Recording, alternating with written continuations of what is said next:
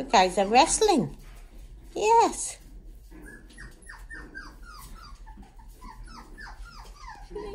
This is their new room. Just for the night. Yes.